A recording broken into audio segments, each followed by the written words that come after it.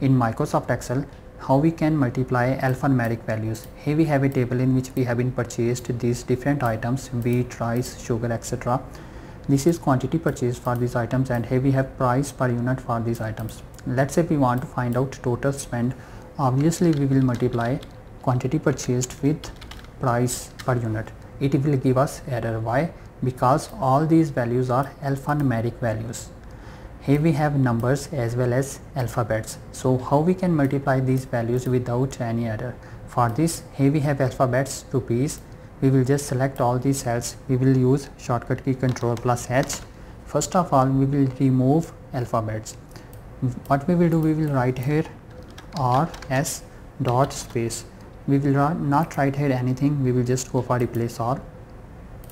Now we have here values now next what we need to do we will use shortcut key control plus 1 to format cells. We will go to custom. Here rupees should be before these numbers. So what we will do we will write here quotation mark r s dot space quotation mark. We will go for ok and here we have same as we had we had before. Same thing we will do here we will select this. We will use shortcut key control plus h to replace. What we want to replace we will replace space kg or we can say kilogram. We will not write here anything. We will go for replace r. Okay. So here next thing we will use shortcut key control plus 1 and here we will go to custom.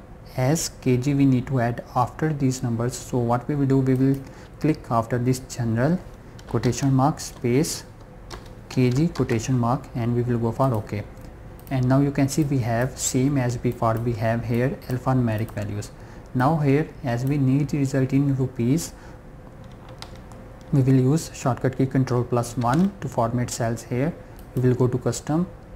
We will click before this general. We will use here quotation mark or s dot space quotation mark. We will go for ok.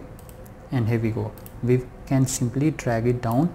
And now we have been successfully multiplied these alphanumeric values